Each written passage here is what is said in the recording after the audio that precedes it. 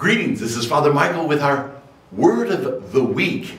Well, this week's word is exercise.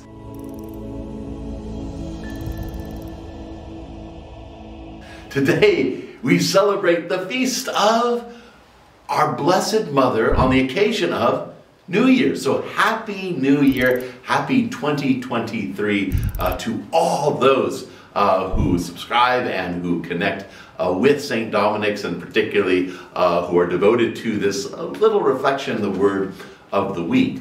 It's interesting, New Year's is often associated with, in a secular way, making resolutions, mm, things in our lives that we want to change or develop better habits in. And I was interested in this past year, 2022, the number one resolution of almost half of everyone who made resolutions was to get more exercise, to get moving. The Lord has given us physical bodies, and you either use it or, in a sense, you lose it. Capacity is always, always looking for engagement in that way. So, just as if we want stronger muscles, healthier body, uh, better ability for energy. We have to use our bodies, we have to engage in exercise. So, too, in our spiritual life, we need to exercise our spiritual muscles. And this means times of prayer, times of reflection, opening our mind and our heart to commune with, to connect with our loving God. If we look to the gospel, we see this image of not only the birth of Christ, but the Blessed Mother's reaction to it. She indeed is visited by the shepherds, the wise men for next week, and at every point she takes the occasion to do what? To reflect, to ponder, to contemplate on what's just happened to her as a way of seeing how God wants to talk with her and interact in our lives. So perhaps before we jump into new resolutions of exercise or eating a certain way or organizing our lives, we might take a moment to, like Mary, reflect on the past year, to name those ways in which we are grateful to God for the blessings of our lives, to be able to name where it was that God's activity was there.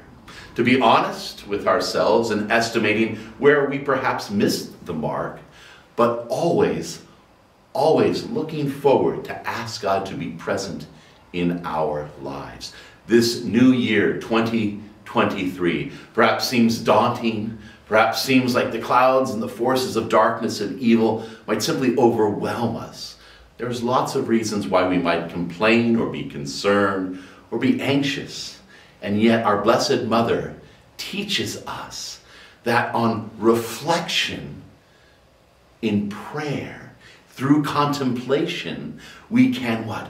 Grow in that sense of God's grace, awareness of His presence, and gratitude for the blessings we receive. No doubt, as a mother, she could have been concerned about where she was going to raise Jesus, how they were going to find their next meal, where they would simply have a roof over their head, and yet, through contemplation and prayer, she was able to move forward to be the mother she was called to be. So, too, for us, as we enter into this new year, may you be richly blessed. May you take the time to exercise the spiritual muscles of contemplation and prayer.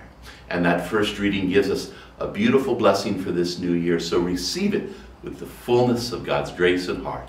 May the Lord bless you and keep you. May the Lord make his face to shine upon you and be gracious to you. May the Lord turn his countenance toward you and give you peace and the joy of this new year. And may Almighty God bless you, the Father and the Son and the Holy Spirit. Amen. Amen.